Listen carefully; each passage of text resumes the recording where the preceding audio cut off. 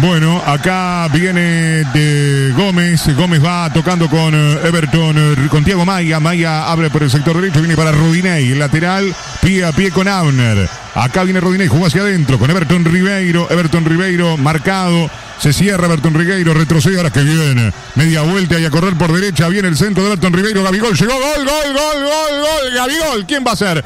¡Gol!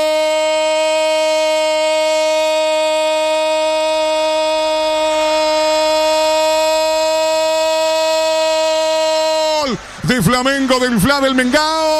Gabigol, Gabigol cuando no. Qué bien la hizo Everton Ribeiro. Qué chispazo, qué maravilla. ¡Qué jugador! El capitán del equipo rojinegro, realmente extraordinario. Iba retrocediendo, como displicente, como sonciando porque le cerraban los caminos. En una dio media vuelta y echó a correr por derecha. Mandó un centro desde la derecha después de una pared con Rodinei y apareció Gabigol suelto, sin marca. Faltaba Pedro Enrique, lateral izquierdo con pierna zurda, lado interno. La termina impulsando al fondo de la red sobre el final del primer tiempo. Gabigol abre la cuenta, Flamengo 1, Paranaense 0. Una efectividad casi 100% del Flamengo, que hasta ahora había tenido el control del equipo paranaense. Los últimos instantes del primer tiempo lo dejan a Paranaense con un hombre menos en la cancha. El nerviosismo de Escolari que yo decía dos minutos atrás, está deseando que termine el primer tiempo para barajar y dar de vuelta. No le dio el tiempo, porque lo sorprende con esta jugada la derecha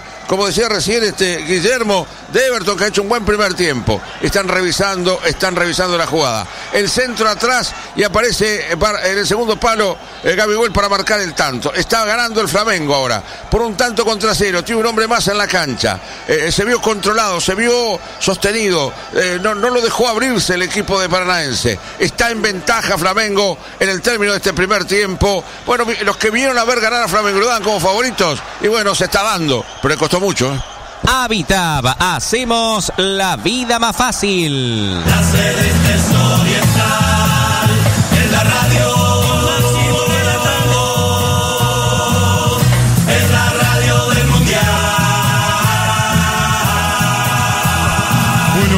Mundial. Bueno, 1 2019 River Plate.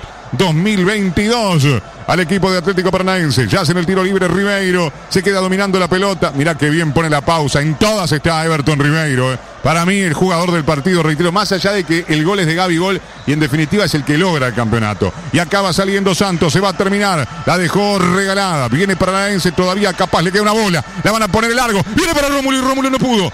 Y Rómulo no pudo. Y atrapó el arquero Santos cuando Rómulo se cruzaba entre el zaguero y el guardameta y puso un peligro final. Quedan 30 segundos, se va a terminar. Acá viene el Rey Arturo, es el chileno Vidal. Por izquierda lo tiene Ayrton Lucas, va a jugar con él, pueden hacer el centro a paso de campeón. Viene Flamengo, se mete en el área, está. Marca justo, notable. Mateus Felipe, le queda Paranaense los últimos segundos. Revientan hacia adelante, la viene a buscar Rómulo, golpe de cabeza, no estaba ahí Canovio. La perdió Rómulo, está recuperando Flamengo con Ayrton Lucas. Viene, tocó para Bertón Ribeiro, se va a terminar. Va a ser campeón Flamengo. Terminó. Flamengo campeón. Flamengo campeón. Flamengo campeón.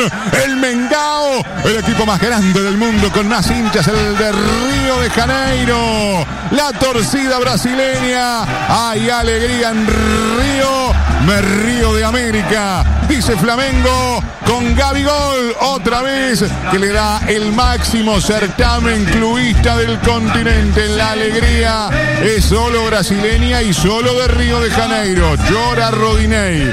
Se ha quedado tendido en el suelo a un solo llanto. Varias lágrimas. David Luis con su compañero de saga, Leao Pereira. Está también Gabigol que entra al campo de juego. Muy sentido. Mirá cómo está. Está ringueando Gabigol. Es el hombre que se ha metido en la historia, Nelson. Es increíble. Fíjate vos. Dos de las tres Libertadores con tres goles de Flamengo. Dos para darlo vuelta ante River en 2019, los dos de él. Y hoy mete el gol de la consagración. Gaby Gol, gran figura de Arrascaeta, el uruguayo campeón Flamengo. justo vencedor de la Libertadores. Generalmente las frases son ya armadas. Un elegido, se dice Gabriel Barbosa. Son las frases armaditas, el, el elegido. Elegido no. El tipo tiene categoría. Aparece en los partidos que tiene que aparecer también. Además de hacer campeonatos regulares y buenas actuaciones. Aparece en los partidos claves. En este, en este partido tiene que aparecer Gabriel Barbosa y apareció. Con todo su linaje, con toda su categoría, con toda su trayectoria.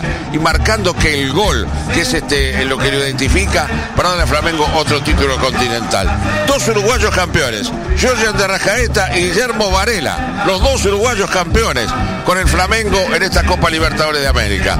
Flamengo en el primer tiempo estuvo paralizado por el planteamiento que hizo Paranaense, muy bien estructurado por Escolari. No le permitió crecer en la cancha, no le dejó espacios y hasta lo ofendió. Dos disparos que no llegaron al marco de Santos, pero que le mostraron su presencia. En el segundo tiempo, hombre menos. En el cierre del primer tiempo se fue bien expulsado por doble tarjeta amarilla. El zaguero Pedro Enrique le modificó todo al técnico. El equipo no tuvo la misma reacción y la misma actitud del primer tiempo. Flamengo empezó a ocupar espacios, a tener la pelota, pero no profundizó, no aceleró, le alcanzó con ese gol del cierre del primer tiempo para en definitiva estar aguantado hasta el cierre. Tuvo que entrar Terán, que vino ya en el cierre de partido. A Terán este, lo, lo incluye el técnico eh, ya en el minuto 75. Faltaban 15 minutos para terminar esta final.